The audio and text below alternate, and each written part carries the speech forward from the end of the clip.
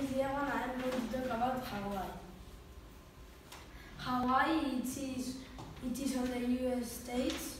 Its capital is Honolulu that is in Oahu and the Hawaiian coast is of uh, 12, 10 kilometers long and is the fourth, uh, the fourthest long in the United States.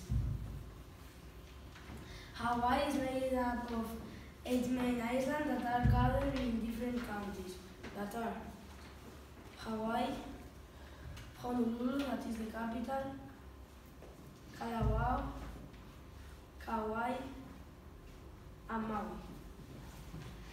Uh, Hawaii is composed of, of 132 islands, but only eight of them are habited.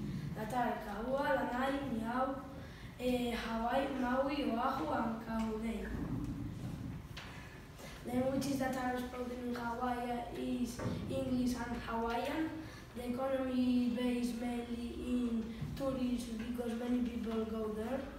And all the Hawaiian islands were formed by the action of volcanoes that arose from the bottom of the sea. And now some islands have volcanoes in active volcanoes. And the word Hawaii uh, means place of the woods. And this is uh, the national symbol of the archipelago, that is the flower of hibiscus.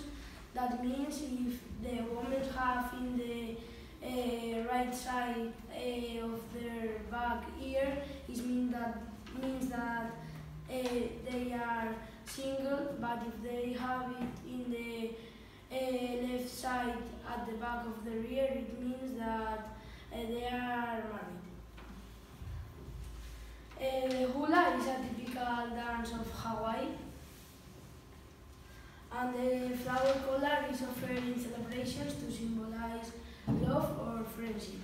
And one thing that I don't put in the presentation uh, was that uh, here in Hawaii there is a TV series uh, film that is called Hawaii Five-0 and uh, I like it a lot because I think that have it all.